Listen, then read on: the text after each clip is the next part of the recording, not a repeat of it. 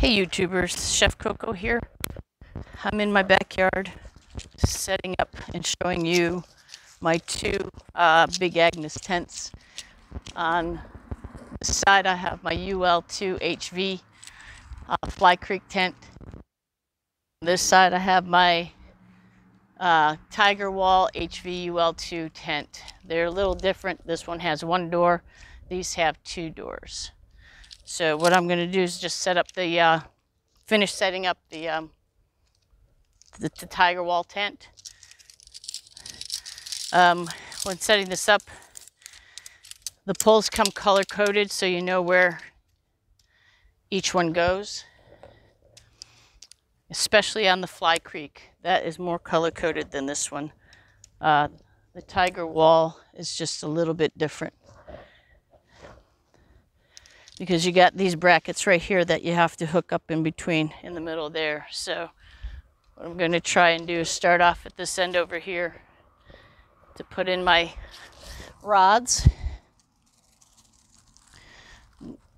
Don't mind my crazy dog running around my yard. He thinks every second outside is playtime. So I just inserted those into the grommets there. Then I'm going to come down and find the center hook for here. And this is gray. Those two points up there are yellow. This here is gray. So this one also is color coded for you to know where to put your poles. I have to push that stake down so I don't trip over it anymore. But also there's a pull out this grommet so you can pull that taunt also. So I will do that now since I got my pull in. So this way it stretches out the base of your floor so you have more room inside. I've only set this tent up one time and it was right when I brought it out on a camping trip. Never set it up before and just set it up. It wasn't too hard to do at all. But you get these first two hooks hooked up right here. Then you got these side poles on the side where these um, rods go into. And all you do is just snap it on like that. I'm going to go to the other side and get the other one on this side as well. You pull it out snap it on.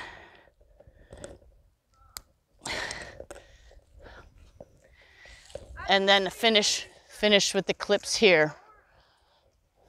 So I'm just going to finish hooking up my clips to the rest of the poles here.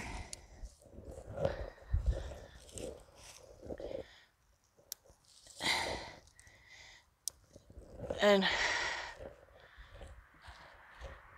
unsure. Oh, I know why I didn't. I did not put this in to itself like this.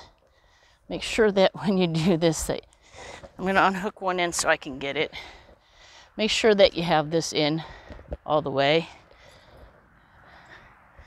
So that way, now you can see how it pulls this tent out this way up above so you have it nice and taut. But remember, before you try and do what I just did, make sure you get your your both sections together. And that's pretty taut and tight. Um, I wish I'd practiced this tent before I went out with it because I got caught in the rain. And there's two vestibules. And I this Tyvek isn't long enough for both vestibules, so what I do is pull it out on one side and then I just use one exit for to keep you know keep keep my shoes off of everything and at least someplace where when I do put the, the fly on there, at least I have a place to cook at if I want to. Next I'm going to get the fly and put that over it. I had just repacked this in, in the bag because it was so muddy and nasty that I uh, I had to let it dry out for a while after I cleaned it. but I'm finding the yellow colored ones so I can get that up first, up and over because it's going to go to the front.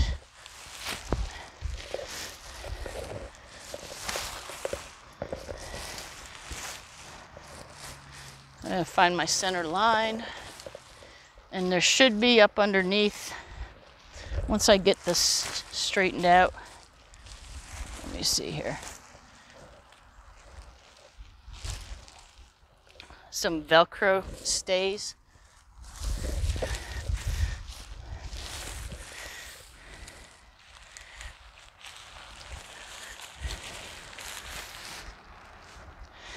Yeah, there's one about right here that I can um, Velcro to my pole loosely so that if I have to adjust this, at least it won't get caught up on anything there. The other one should be up here at the front. And they are on both sides of the down side of the uh, cover. I definitely like to get those on and then readjust when I need to. Just that one. And I'm putting them in between the two buckles that go onto the poles. Not above one of them and not below the other lower one. So once I get that those done, I go and take my snap and snap it into the snap down below.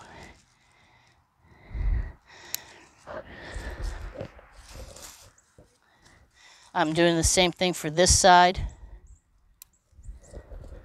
And then I'm going to do the same thing for the back support here. Gotta let it out a little bit first to see how much I will need to tighten it or not. And then I like to make sure that my seam is straight up the middle on my poles as best as I can. And that's that. And now all I have to do is pull out the vestibules on this one. I'll pull out the vestibules and then I'll show you a couple of the extra tie outs on this tent. There's two strings here, one for each door.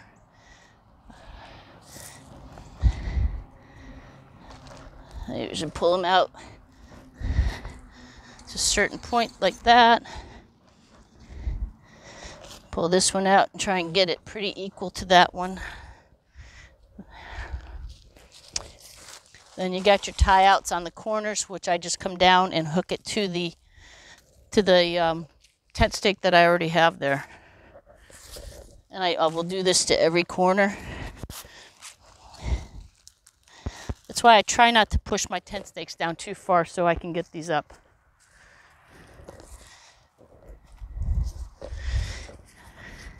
And then this vestibule, which will be my enter, entrance, and exit vestibule, I'll put my last two stakes up here.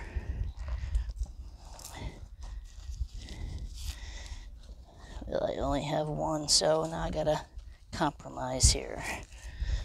And then put that. Like I said, I'm just gonna try and make it taunt. It should it looks pretty good just the way it is. But that's the setup for the Tiger Wall UL2. As you can see, it has the two vestibules, one on each side. This is the foot end, technically, and the head end as it tapers down to the feet. My dogs are saying hi to everybody. Uh, next thing I'm going to do is the uh, the Fly Creek, and it's the same setup, the same kind of pole system, and they also give you this extra piece of pole in case you snap your pole. At least you got something to fix it with. So I'm just going to put this together. Unlike the uh, Tiger Wall, this does not have the um, that extra expander pull in the middle there, like you saw on that one.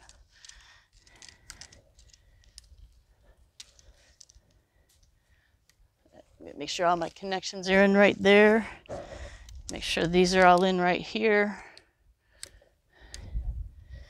Gonna stick this in the grommet here. Stick this one in the grommet here.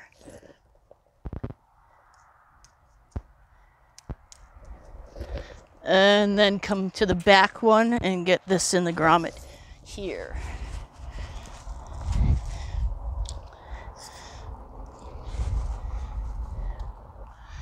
There's the pole set up for that. Now also, the weight difference between the two are a quarter of a pound. The um,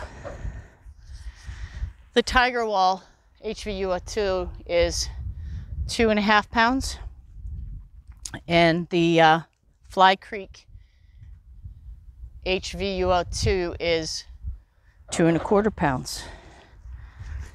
So, let's see, I'm just gonna stake out this pole here. This should be fine. I have it nicely stretched out. Now what you do is just start by taking this one is right here a little different. You got this hook here. It's not just a snap over, it's just a snap. You rotate it so you can snap it on here like that. I know you probably can't see this far away, but I can show you, get the camera and show you a little closer. What I'm doing is just taking on my now my hooks and hooking up hooking them up to the poles.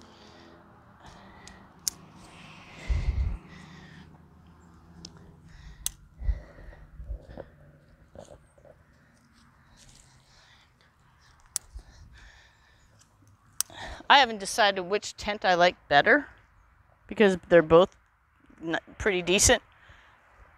But I have advantages with the UO2, the not the yeah the uh, Tiger Wall over the Fly Creek because that has two doors, that has one. So I'm just going to get the camera, bring you a little closer, and show you the hooks.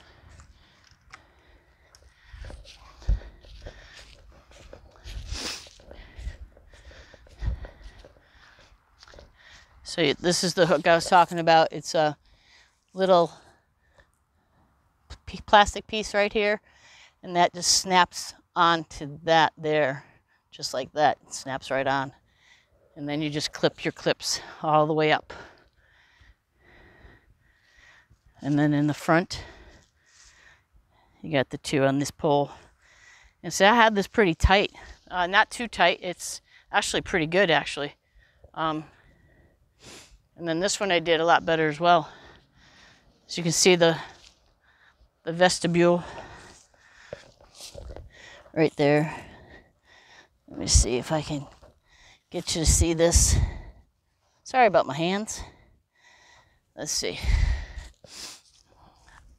I know this this is not the vestibule I'd probably use to get in and out of, but because I have the, the Tyvek more on the other side, but you just open the vestibule like that.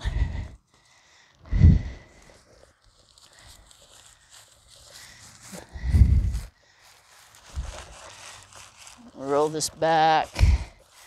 And I know it comes to a certain point right down here is where your tie out is for it. So you can leave the door open.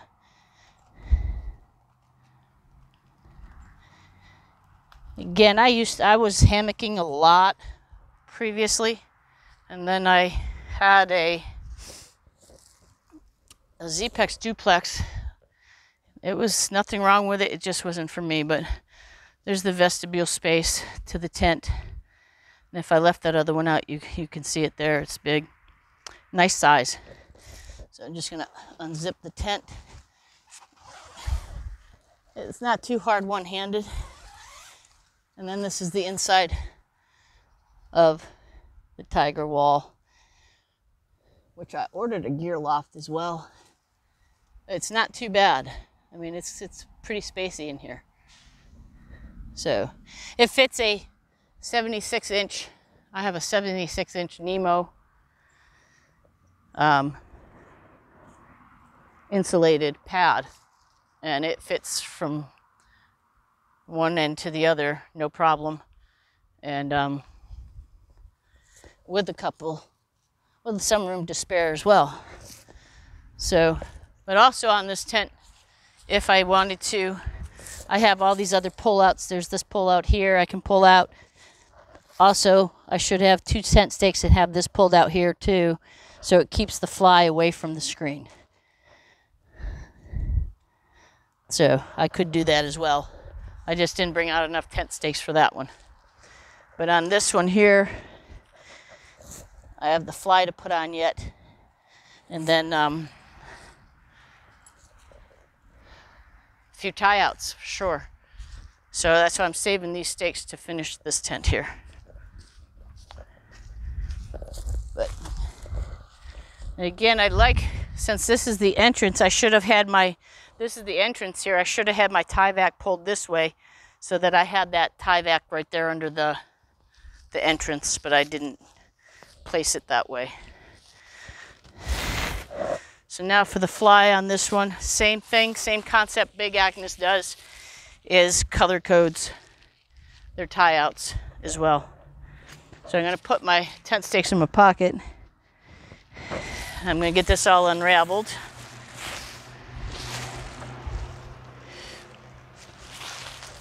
Get it switched around. And I know that at least one of my velcros is right here in the middle, so I'm going to get that velcroed on.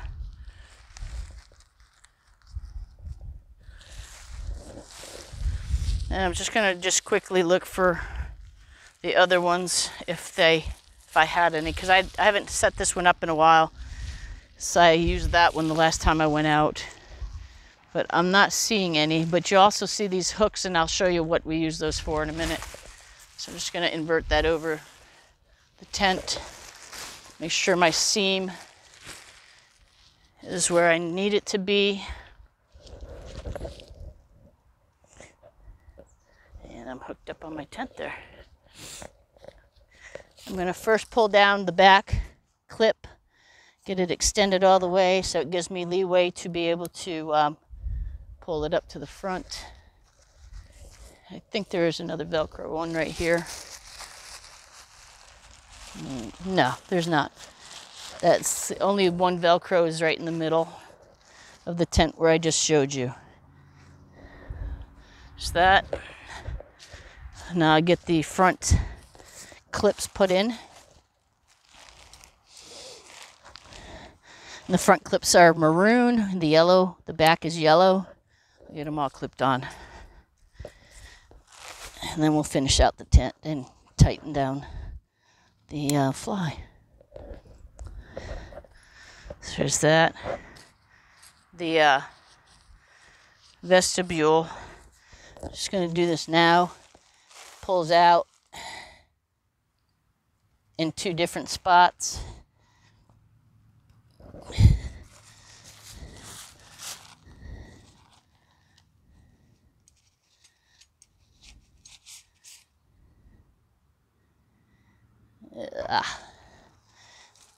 Get that in and taunt. That's all right.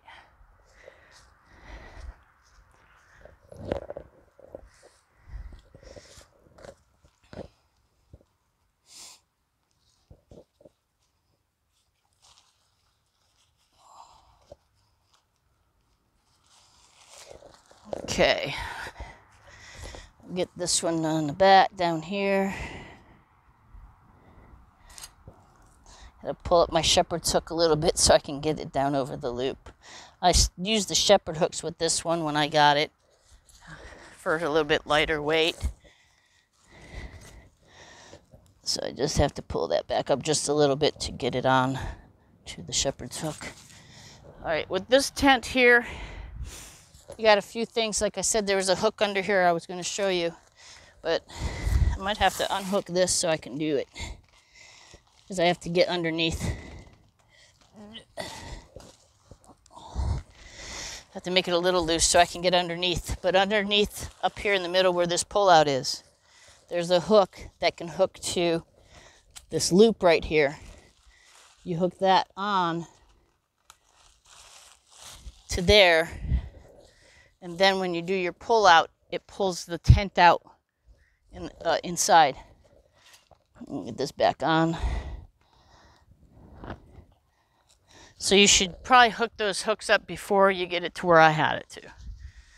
And then this hook at the bottom here hooks onto this loop here. And then what I'm going to do is now take this guy out and pull it out and place my hook. Then I can take this same line and hook it on the same thing because you have these triangular uh, uh, clips that you can move them and tighten them is just adjust your tightening, your tension right there. These are amazing. I love these things. It makes it so much easier to uh, guide it out. And I'm going to do the same thing to the other side. But at the same time, I'm going to come around and tighten up these right here so it pulls this a little bit more taut. Maybe even get this out a little bit more. So you don't have as much flapping going on. And essentially I could pull this out a little further.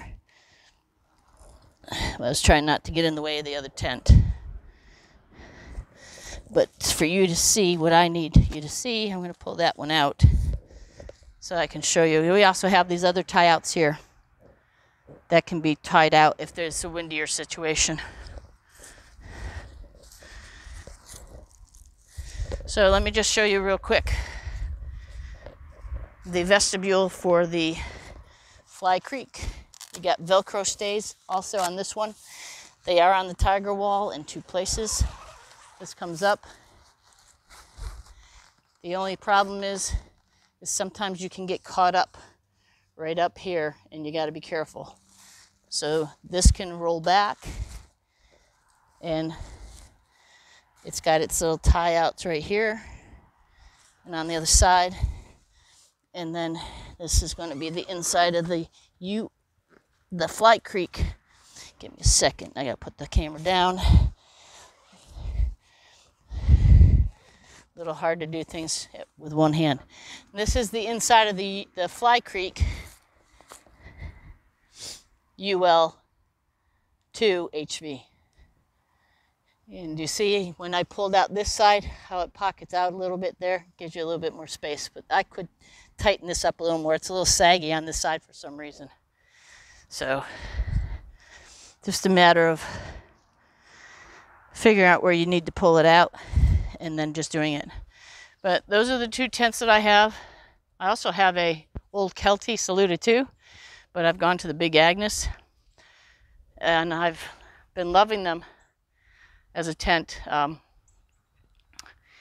carrying that little bit of extra weight as opposed to the Zpacks duplex tent is not an issue for me.